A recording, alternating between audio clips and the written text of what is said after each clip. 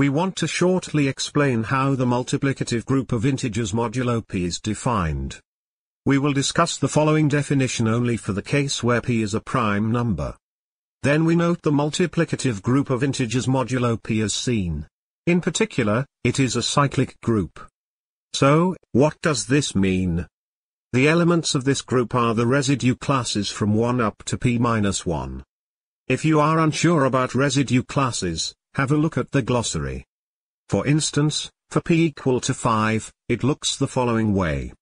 A group is defined as a set of elements together with an operation which combines two elements from this set to form a third element within this set.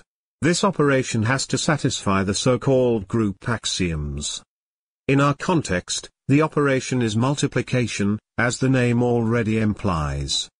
Moreover, this group is a cyclic group, which means the group is generated by a single element, called the generator.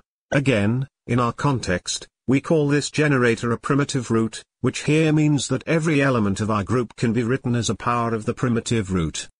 Let's consider this for our example.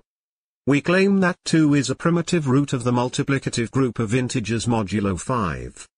This means, we have to check whether we can write the representatives of the residue classes, namely 1 2 3 4, as different powers of 2 modulo 5.